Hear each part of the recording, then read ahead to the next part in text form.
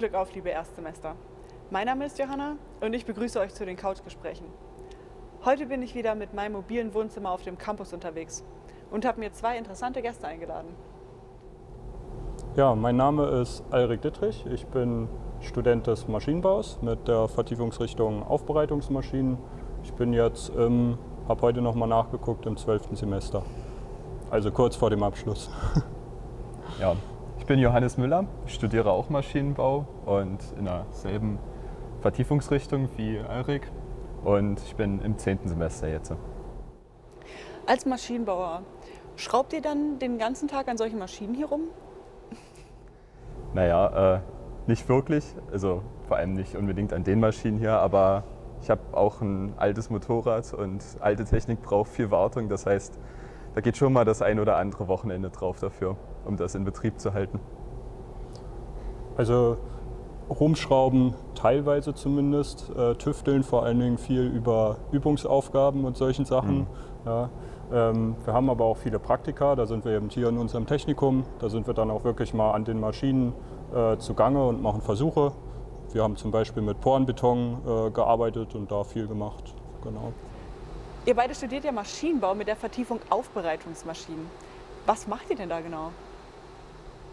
Ja, also die Aufbereitungsmaschinen, das sind ja alle Maschinen, die sich irgendwo zwischen einem Grundstoff, sei es jetzt irgendwo im Steinbruch, wirklich der Felsen oder auch unter Tage im Bergwerk was, ähm, aber auch Recyclingstoff zu dem Wertprodukt befinden. Alles, was die Verfahrensschritte dazwischen umfasst, das Studium bei uns.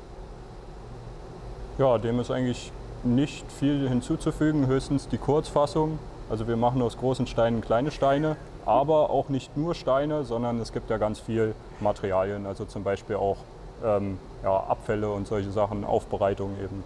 Ja. Würdet ihr also jungen Maschinenbauern oder Leuten, die sich überlegen, Maschinenbau zu studieren, empfehlen, hier zu studieren und auch eure Vertiefung zu wählen?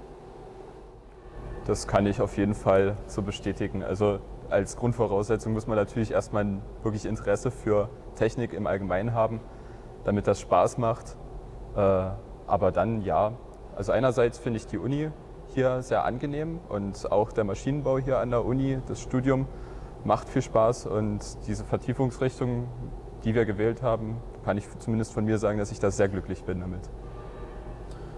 Also für mich war es so, das muss man vielleicht auch ehrlicherweise sagen, ich hatte zum Beispiel Chemie und Physik in der Oberstufe abgewählt.